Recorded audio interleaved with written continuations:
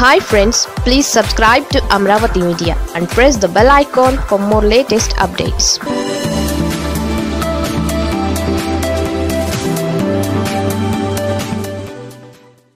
Radha episode సాక్షిగా విజయవాడ టీడీపీలో బయటపడిన మరో లొల్లి. వంగవీటి రాధ హత్యకు రెక్కి జరిగింది. తెలుగుదేశం పార్టీ మొత్తం ఆయనకు అండగా నిలిచింది. చివరకు పార్టీ అధినేత చంద్రబాబు సైతం రాధా ఇంటికి వెళ్ళి పరామర్శించొచ్చారు. ధైర్యం చెప్పారు. పార్టీ తరఫున భరోసా ఇచ్చొచ్చారు. మరోవైపు విజయవాడ ఎంపీ కేసినేని నాని సైతం రాధా వద్దకు వెళ్ళి సంఘీభావం ప్రకటించొచ్చారు.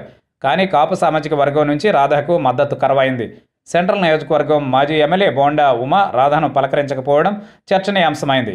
కాపు సామాజిక వర్గానికి చెందిన బోండా ఉమ రాధా సంఘటనలో మౌనంగా ఉండడానికి కారణాలేంటన్న దానిపై చర్చ జరుగుతోంది. సెంట్రల్ నియోజకవర్గంలో కాపులు బ్రాహ్మణులు బలంగా ఉన్నారు. రెండు వేల పంతొమ్మిది ఎన్నికల్లోనూ బోండా ఉమ స్వల్ప ఓట్ల మెజారిటీతోనే ఓటమి పాలయ్యారు.